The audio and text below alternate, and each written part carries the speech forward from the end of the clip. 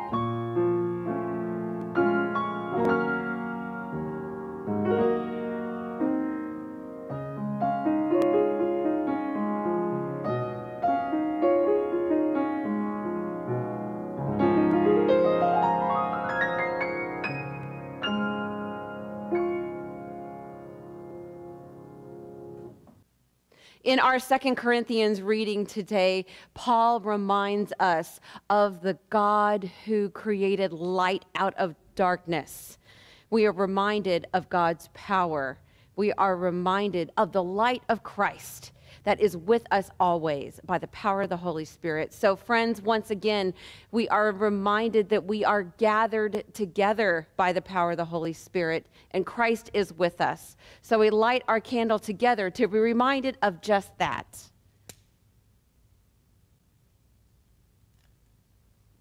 And we give glory to God as we worship. Amen. God pours out God's mercy upon us. And we do not lose heart. Oh, oh give, give thanks, thanks, to the Lord. Lord. Call, Call, on God's name. Make known God's deeds among the peoples. God's light shines out of darkness and into our hearts. From, From generation, to generation, God is mindful of the covenant that God made with God's people. Even though we are frail, enduring suffering causing and reconciling strife, fighting oppression and judgment from without and within. God's, God's Spirit, Spirit, is, at, at work. work. God's Spirit works within us. God's Spirit works amongst us. God's Spirit works all around us. Thanks be to God. Let us pray. Indeed, Holy One, your Spirit works within, amongst, and all around us. It is your Holy Spirit that has called us to worship today. It is your Holy Spirit that binds us together, whether we are physically together or not. Holy One, we come today to give you thanks and praise, to honor you, to adore you, to bow down before you as you are the only one who is worthy.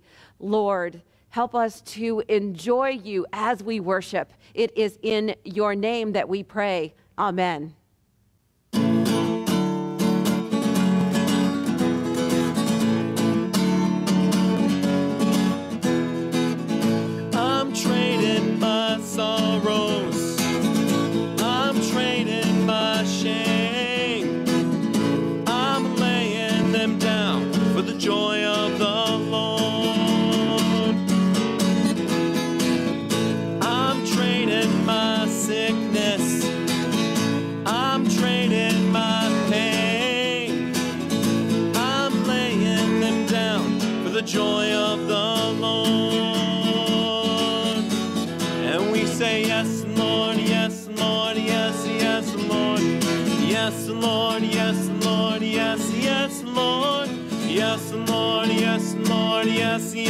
Lord, amen. I am pressed but not crushed, persecuted, not abandoned, struck down but not destroyed. I am blessed beyond the curse, for his promise will endure. That his joy is gonna be my strength. And though the sorrow may last for the night, his joy comes with the morning. I'm training my sorrows. I'm trading my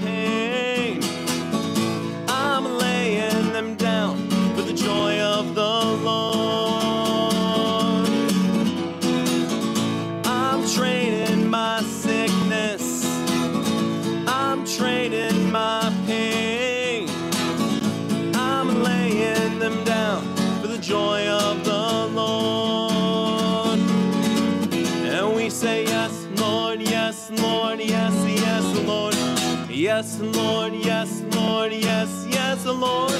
Yes, Lord, yes, Lord, yes, yes, Lord, amen. I am pressed but not crushed, persecuted, not abandoned, struck down but not destroyed. I am blessed beyond the curse, for his promise will endure. That his joy is gonna be my strength sorrow may last for the night, his joy comes with the morning. I'm trading my sorrows, I'm trading my shame. I'm laying them down for the joy of the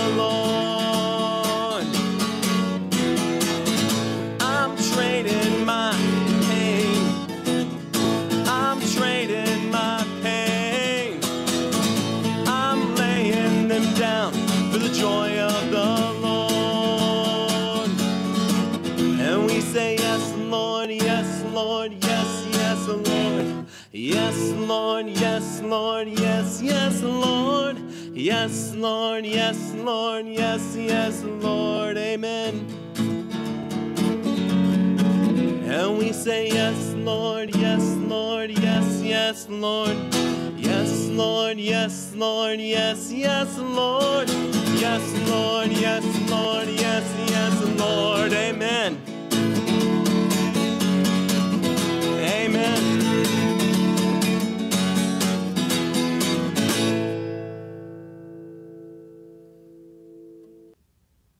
Yes, Lord, indeed. Friends, we can trade our sorrows and we can lay everything down. All of the stuff that stresses us out, all of our sins, all of our failings, all of our character defects, all of our shortcomings, we can lay it down for the joy of the Lord. And we do this by confessing our sins. So let's not hesitate. Let's come together as a body of believers through this technology and pray together our prayer of confession. The words will be on your screen. Let us pray. Holy God, we open our hearts to you this day and offer the truth of our lives, the fear that stifles us, the prejudice that blinds us, the ignorance that hobbles us, and the doubt that plagues us. Help us, we pray, that we will find courage in you, see the world as you do, with gracious eyes, place ourselves where love is needed, and have faith that you strengthened and are with us. This we pray in Jesus' name. Amen. Let's take some time for contemplative confession.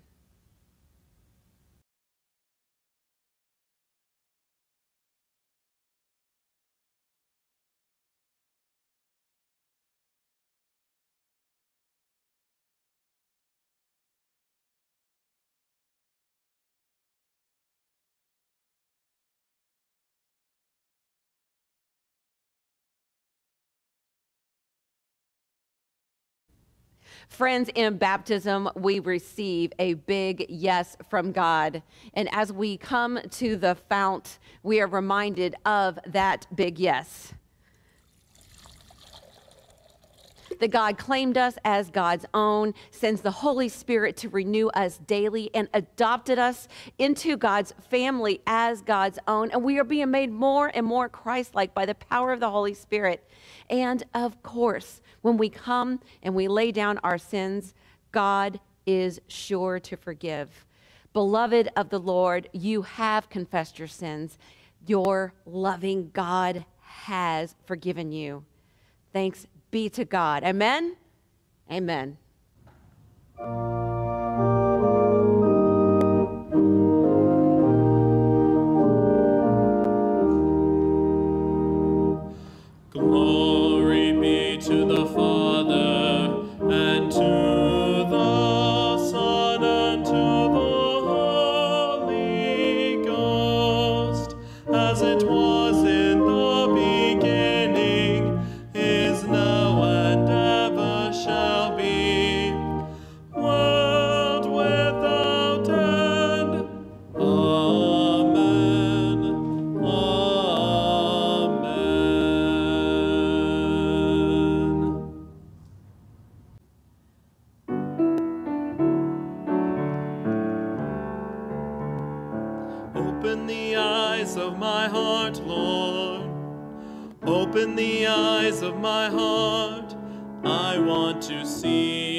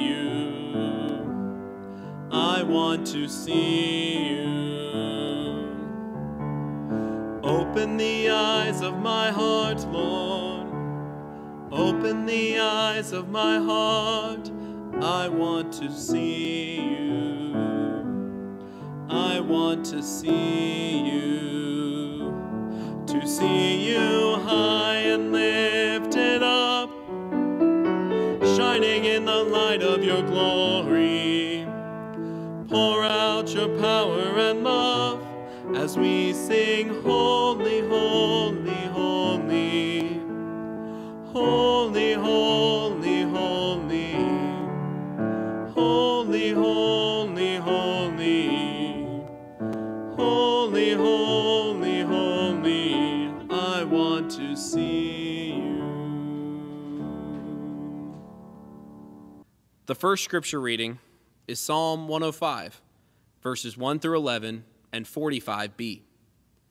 Listen with all of your capacity as the Holy Spirit breathes alive scripture again. Oh, give thanks to the Lord, call on his name, make known his deeds among the peoples. Sing to him, sing praises to him, tell of all his wonderful works. Glory in his holy name. Let the hearts of those who seek the Lord rejoice. Seek the Lord and his strength, seek his presence continually. Remember the wonderful works he has done, his miracles, and the judgments he has uttered. O offspring of his servant Abraham, children of Jacob, his chosen ones. He is the Lord our God. His judgment are in all the earth. He is mindful of his covenant forever, of the word that he commanded for a thousand generations, the covenant that he made with Abraham, his sworn promise to Isaac, which he confirmed to Jacob as a statute, to Israel as an everlasting covenant, saying, To you I will give the land of Canaan as your portion for an inheritance. Praise the Lord. This is the word of the Lord. Thanks be to God. Our second scripture reading today is from Second Corinthians chapter 4 verses 1 through 18. Listen for the word of the Lord. Therefore, since it is by God's mercy that we are engaged in this ministry, we do not lose heart. We have renounced the shameful things that one hides we refuse to practice cunning or to falsify God's word. But by the open statement of the truth, we commend ourselves to the conscience of everyone in the sight of God. And even if our gospel is veiled, it is veiled to those who are perishing. In their case, the God of this world has blinded the minds of the unbelievers to keep them from seeing the light of the gospel of the glory of Christ, who is the image of God. For we do not proclaim ourselves, we proclaim Jesus Christ as Lord and ourselves as your slaves for Jesus' sake. For it is the God who said, Let light shine out of darkness who has shown in our hearts to give the light of the knowledge of the glory of God in the face of Jesus Christ.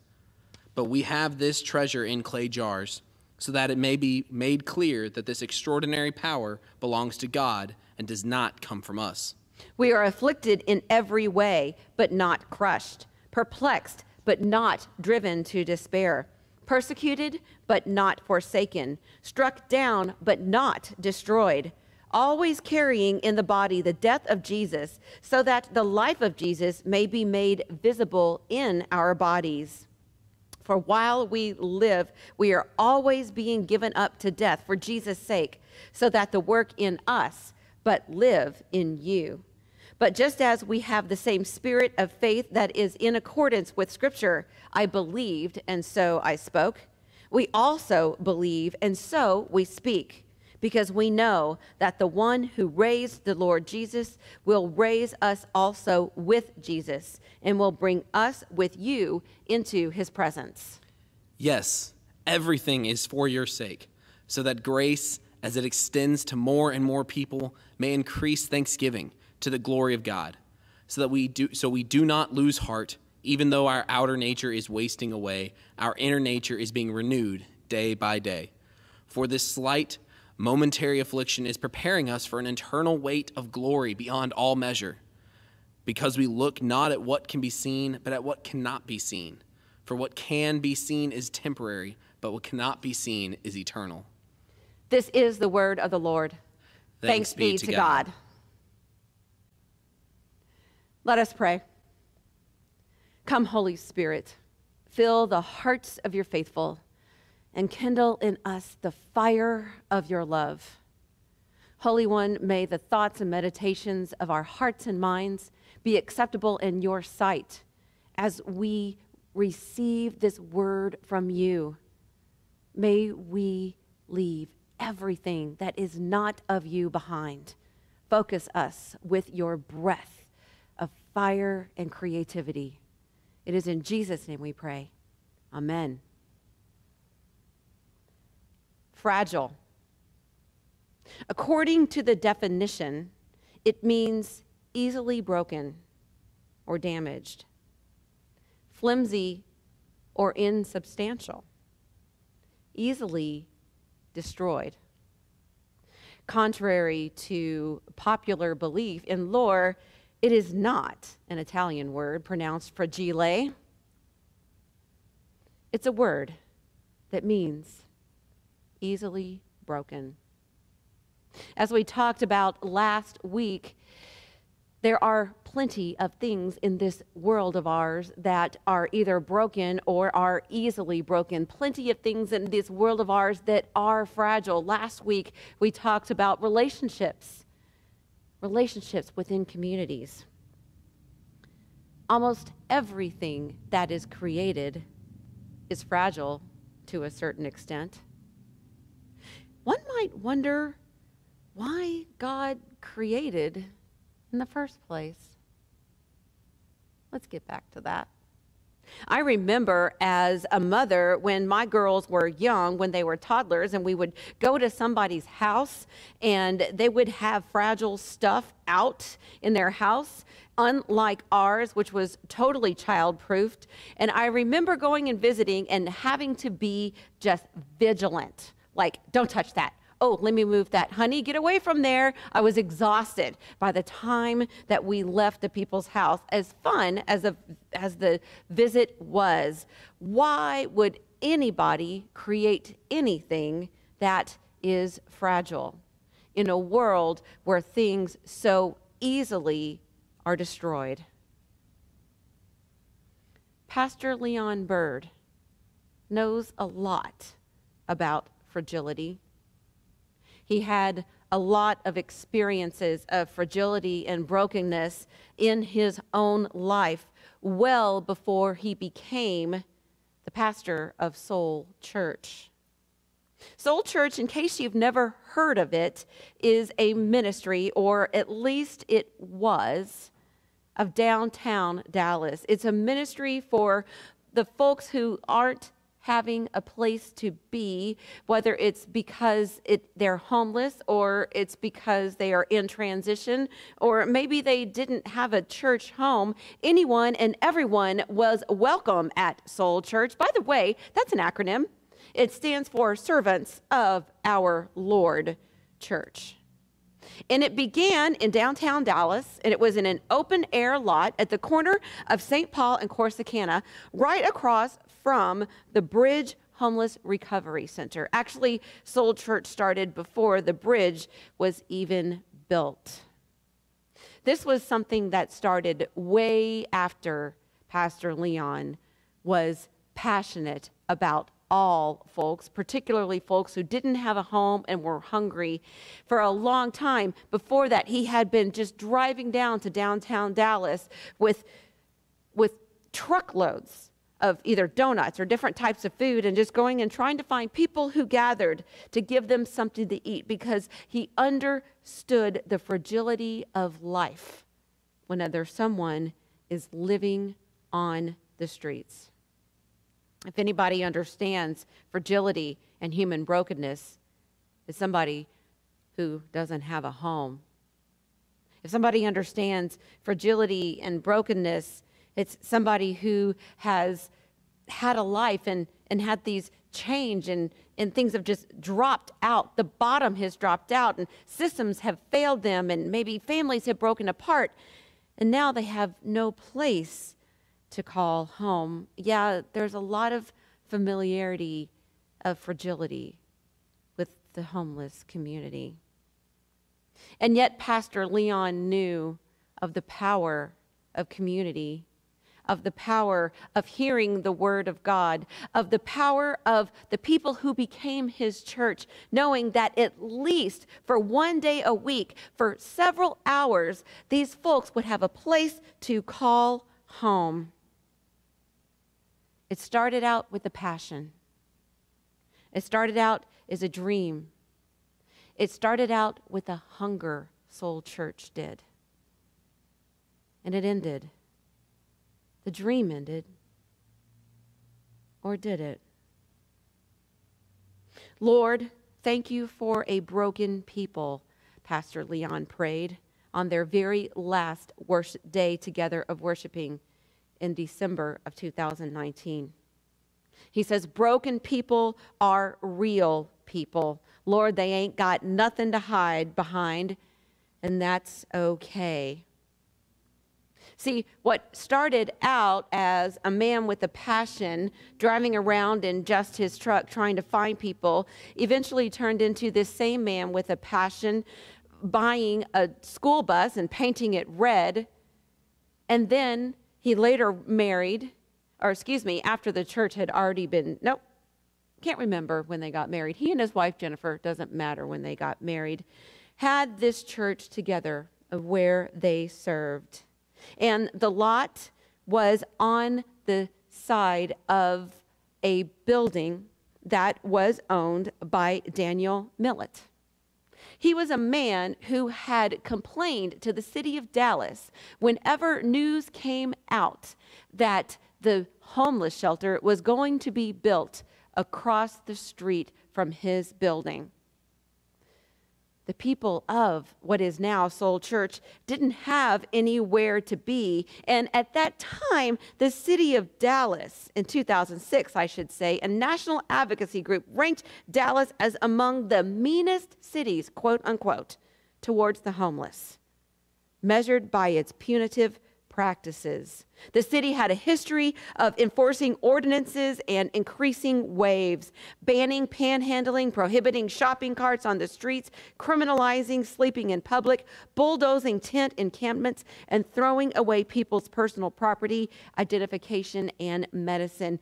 Yeah, the people who are homeless know a lot about fragility because what little that you have might easily get taken away. What place that you think that you found that you can hang out will all of a sudden be told, hey, you can't hang out there anymore.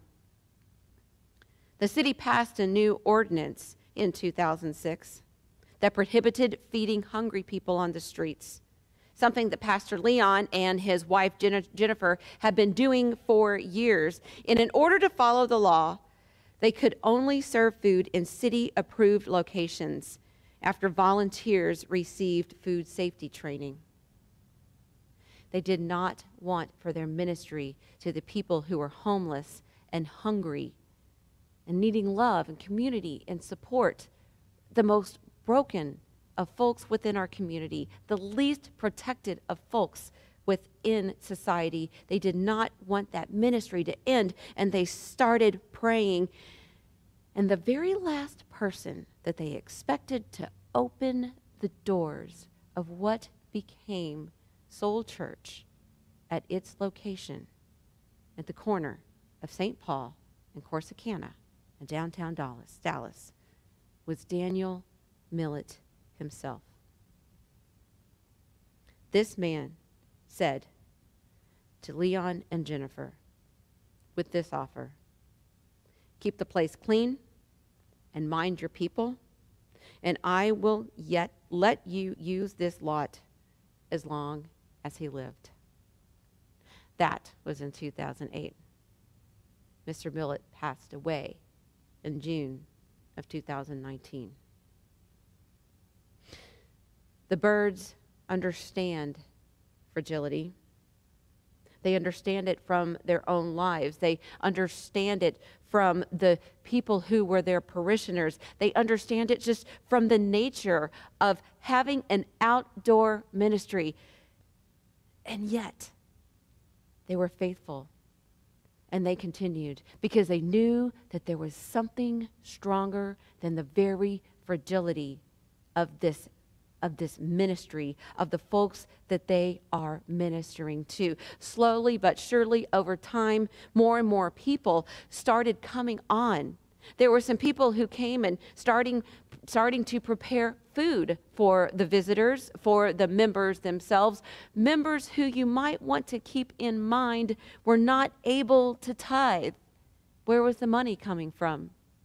From donations, from grants from other people who started hearing about this ministry and wanting to be a part of it. At five o'clock in the morning, people would show up and start setting out and preparing food and having a take along sack lunch so that people could go on and have more food. Over time, some other people came in and started preparing and started providing clothes for the folks. Over time, there was even a chiropractor who came so that they could provide different types of adjustments for the people as needed. Over time, there was someone who was a nails technician that started coming that would help give manicures and pedicures and clean all the dirt and everything underneath people's nails.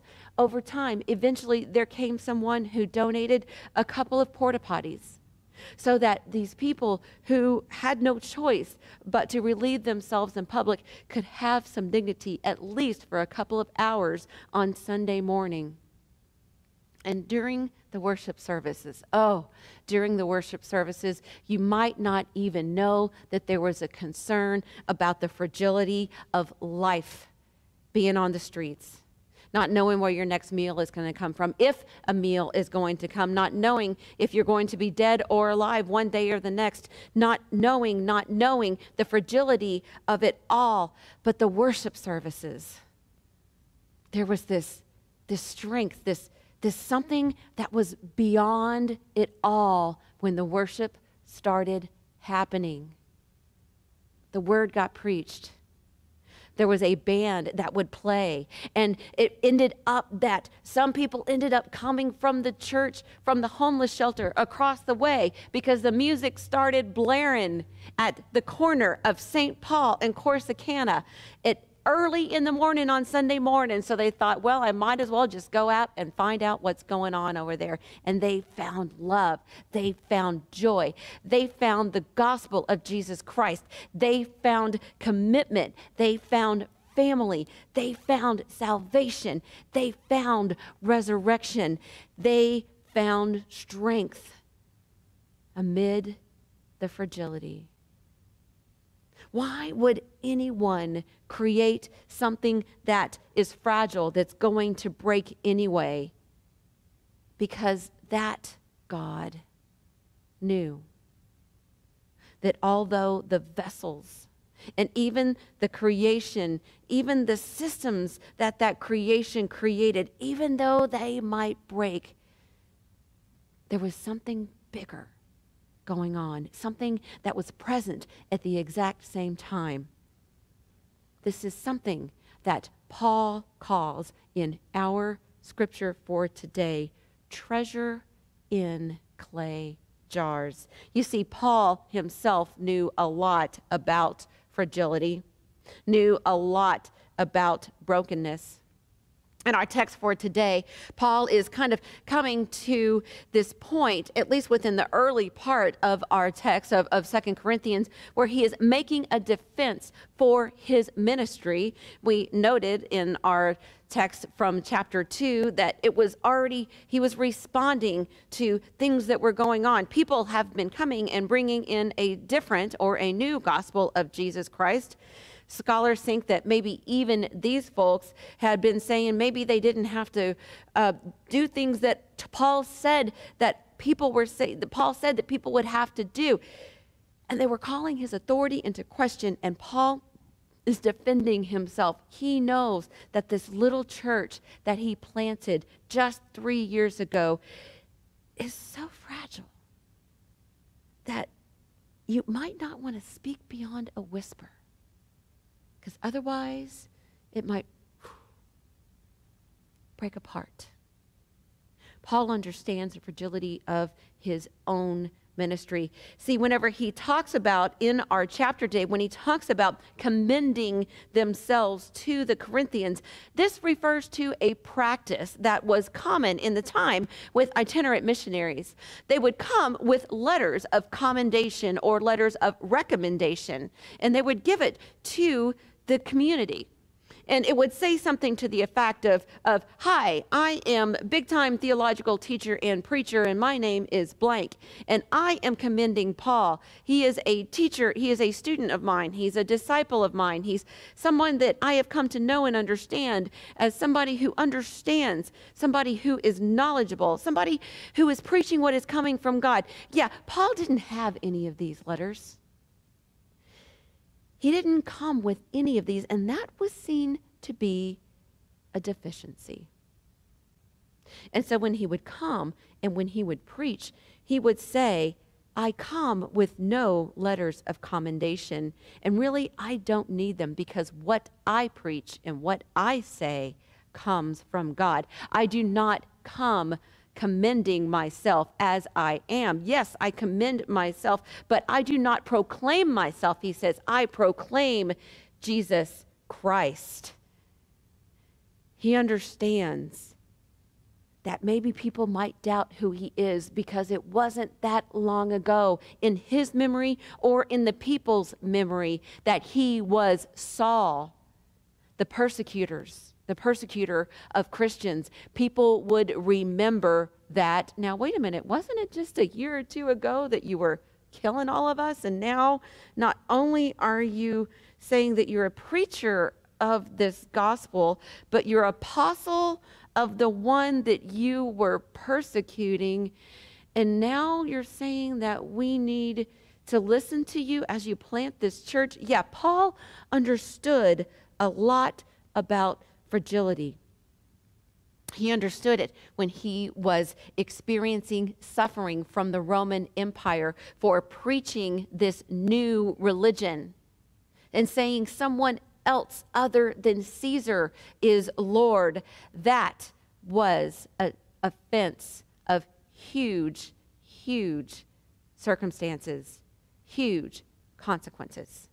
And yet he kept going no matter what, no matter what suffering he knew that might happen, because he knew that he was called to preach the gospel of the Lord. And he knew that preaching this would bring suffering, and yet he was strengthened by the word of the Lord that he was preaching and the works of Jesus that were happening amongst the communities. Yes, Paul understood fragility within his own body within his own commendation, within his own reputation of what had happened. He understood it within the fragility of this little church that he had planted that is already starting to fall apart. And this little church that was that was brought made up of people who were fragile, people who were slaves, people who were poor and day workers, those who were uneducated, those who were by far the marginalized of society. Paul understood fragility on many levels very, very well. And yet, he preaches and he writes with such compassion and such strength you know that he is not asking, why would anybody create something that is easily broken? For he says, we have this treasure in clay jars, so that it may be made clear that this extraordinary power belongs to God and does not come from us. People would have understood the metaphor treasure in clay jars. Clay jars were quite common during this time. They were made from the soil of the ground, and they were dried in the sun. And the thing about these clay jars, the way that they were made, some were small, some were larger, they were great places to keep things that mattered the most to people.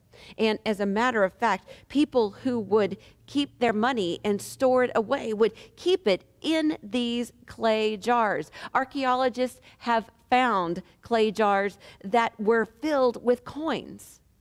And these are in museums in different places throughout the world. So it was not uncommon for people to keep treasure in clay jars. Now, the thing about clay jars they're extremely fragile, easily broken. So, does it make sense that people would keep something that is valuable, something that is precious, something that is a treasure? in something that is easily broken or easily damaged, in something that is flimsy or insubstantial, in something that is easily destroyed. While we might think that it makes no sense for people to do this, it was a practice and it was understood. And it was something Paul is saying that God, God self has done. We have this treasure in clay jars, Paul says, so that it may be made clear that this extraordinary power comes, belongs to God, and does not come from us. We need to make it clear, says Ernest Best, who is the author of the interpretation commentary on Second Corinthians, that Paul is not talking about an immortal soul that is housed within a perishable body. That is Greek philosophy. That is not Christian resurrection embodied theology. Most likely, Ernest Best says, Paul is referring to his own ministry. This ministry that he understands is so new and so fledgling and is being taught to a fragile part of society. He understands that it is easily breakable, but it is a treasure in a clay jar. Because, see, it doesn't matter if Paul himself fails or dies, because he knows that he will. Because the true treasure is the Word of God. It is who Jesus is. It's the presence of Christ among us. That no matter what is going on in this broken life of ours, in this broken world of ours, God so loved this broken world of ours that God sent God's solid, stable, fully human, fully divine Son so that this world through him might be redeemed and not condemned. You see, friends, there is like this dualism of this reality going on, this, this broken and perishable reality of Christian of, of our lives, of creation. And at the same time, that is there, the unperishable, the reality of God, the presence of Christ by the power of the Holy Spirit. It is there at the same time. So no matter how fragile this world may be, this ministry may be, this preacher may be, this community may be. The truth of the presence and the reality of God stands, and by some strange, inexplicable reason, works through these fallible creatures known as humans. God could easily have created things that are cannot be destroyed. God doesn't really need us fallible humans to, to share the good news, to, to be able to complete God's work. No. And yet, God chose it. And there is the mystery of the intermingling of the fragile and the solid, of the easily breakable and the unbreakable. You see, it's there together. No matter how fragile our lives are, no matter how fragile the church is, and we know that it is. It's been dying, we've been hearing for decades. You've heard me preach more than once about things that I've read and things that have been said for at least the last 10 years about the rise of the nones and the dones and the spiritual but not religious folks. You see, even though the church might be struggling, might be dying, it dies to what is fragile and it raises within the glory of Christ that is unbroken and unbreakable. Treasure what is precious, what is beautiful, what is delicate, what is dainty. In a clay jar? How does that go together? The exact same way as Soul Church kept together and served its people and served them faithfully through the very last time that they were together in December of 2019. Just as many people, if not more, on that cold and dreary day came. And Pastor Leon prayed Lord, thank you for broken people. Broken people are real.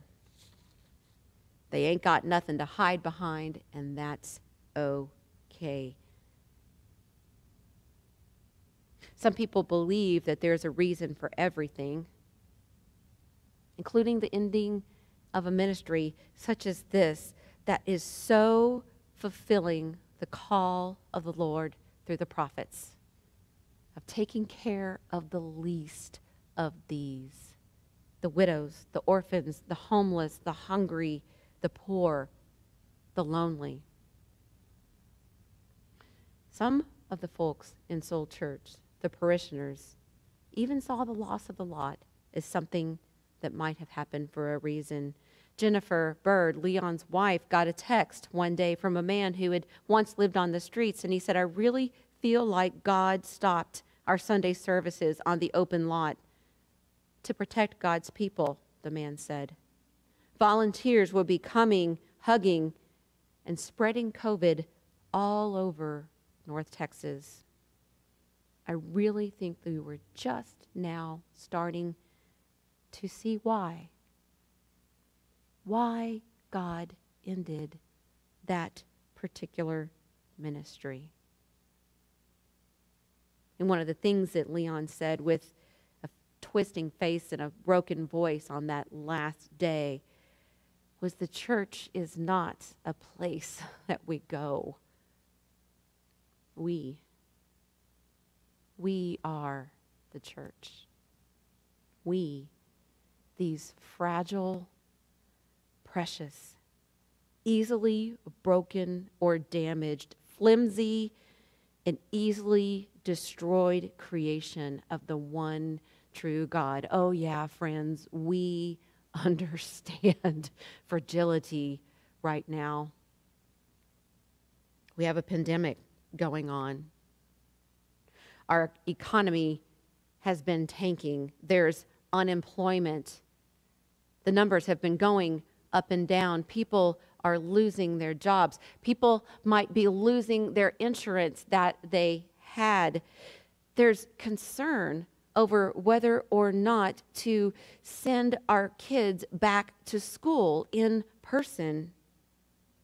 If we don't send our kids back to school, that might keep them safe from getting the disease. If we do send them, we're putting not only our kids at risk, but the teachers and the administrators and the entire staff. And then if the kids bring something home, the families, it starts spreading. So it might make more sense for us just to be online. But you see what happens when we don't go to school in person, the most vulnerable of our kids don't have the safe place that they count on. Because for some kids, the only meals that they get are the ones that they get when they go to school. And for some kids, the few adults that they feel safe around are the ones that are at school. It's not an easy decision to make. Oh, yeah, friends. We understand fragility. But we also understand the treasure that is in the clay jars are the fragility of humanity, the fragility of society, the fragility of life, the fragility of relationships, the fragility of church, the fragility of systems. We understand that while what we see as reality might come and go, the eternal is here. God's plan began. The reality of God's redemption for all of creation. The news was made loud and clear on the day that Jesus resurrected, the firstborn of the dead. He kicked off the finishing. The plan is already at work. And Paul says this in verse 16, in verse 18, because we look at what can be seen, but not, excuse me, we look not at what can be seen, but what cannot be seen. For what can be seen is temporary, but what cannot be seen is eternal. This, friends, is a message of hope.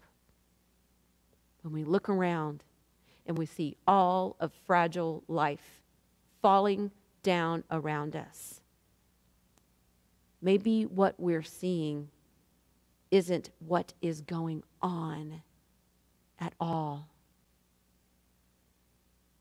The eternal is there. The eternal has broken through. The eternal is with us in this life. Paul writes this fourth chapter not only to defend his own ministry, but to encourage the Corinthians. We have this treasure in clay jars. We are afflicted in every way, but we are not crushed. Perplexed, but not driven to despair. Persecuted, but not forsaken. Struck down, but not destroyed. Always carrying in the body of death the death of Jesus, so that the life of Jesus may also be made visible in our bodies. Yes, we are fragile. Yes, the world around us is fragile, but it is not broken. It is unbroken and so is the one who holds everything, including pieces, together in God's hands. In the holy name of the one who was, who is, and who is yet to come. Amen. Friends, when we pray, we connect with God by the power of the Holy Spirit. And whenever we pray together, we connect with God and one another. It is a blessing to be able to pray together this way through this technology. And when we come to God and we come together, we are reminded that God is not Santa Claus. God is not a vending machine where we just come and we ask for what we want. God is the one who created us, who loves us, who wants a relationship with us. So let's make sure that we give God the adoration and the glory and the praise that the Lord deserves. We'll spend some time in prayer together. And as is our custom, we will end our time with the Lord's Prayer. And the words for that will be on your screen. Let us pray. Loving God, we are well aware of our fragility these days. Help us by your power. Remind us of not just your strength, but your strength that is present with us, your strength through your spirit that connects us, that builds us up that is working even now to redeem your creation. Lord, help us to see the eternal and what is seen. Help us to see you, the unbroken, within our brokenness.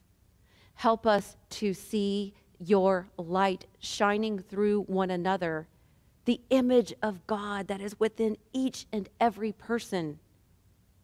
Holy One, Help us to have faith and to remember the church is not a building. Church is not even a ministry. The church is us. And you are at work amongst, within, and through us. Help us to see not only you, but where we you are going, where you are calling us to, so that we might follow and we might let your light shine. We thank you and we praise you for your son, Jesus, the true light. We did not have to have a veil to look upon your face in him. Thank you for his ministry. Thank you for his life. Thank you for his love. Thank you that he gave so willingly of himself so that we would understand how very, very much you love us. And thank you for the victory of the truth of your story that shone through on that first Easter morning with his resurrection. Lord, we praise you with these words that he taught us to pray, saying, Our Father, who art in heaven, hallowed be thy name. Thy kingdom come, thy will be done, on earth as it is in heaven. Give us this day our daily bread, and forgive us our debts, as we forgive our debtors. And lead us not into temptation, but deliver us from evil. For thine is the kingdom and the power and the glory forever. Amen. Friends, all of life is a gift. And whenever we give to anything or anyone, it is a way for us to respond to God in gratitude. We are grateful for your giving, how you continue to support the mission and ministry of First Presbyterian Church Plano. Once again, we are grateful and we are excited about our new street side showers clothing ministry. We are very excited about the friends that we are going to play with at Virtual Vacation Bible School next week. And we are continuing to pray and ask God to show us how we remain missional during this pandemic and church virtual version. So when you give, you give to support what God is doing in the life of this church and in the life of this community thank you, we appreciate it, and we say, God bless all that you do.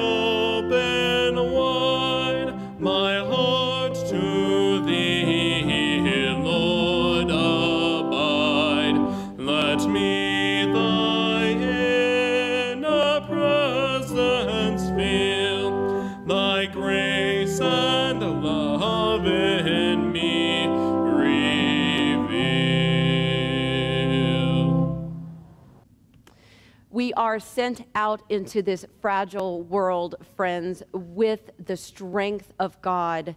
God's strength upholds the world and all that is in it. Not only can we trust God, we can know that we are safe and can be bold in living our lives for the glory of God as we prepare to go out into our week, let's share in our commission and blessing together. The words that you need to speak will be on your screen. When we feel weak and we lean upon the Lord, God makes us strong. God's grace is sufficient for all that we face. May we wholly embrace that God truly is enough. Though we ourselves are frail and live in mortal bodies, we are still vessels of that which is eternal. God's everlasting power and beauty contained in earthly pots. So we do not lose heart. God, in raising Jesus, overcame and is redeeming all of creation. Indeed, the Lord is. Even as we are here still worshiping together, the Spirit is at work among, within, and all around us. Friends, as you go amongst your time, may the Lord bless and keep you. May the Lord make God's face to shine upon you and give you peace. Go in peace to love and serve the Lord. Amen.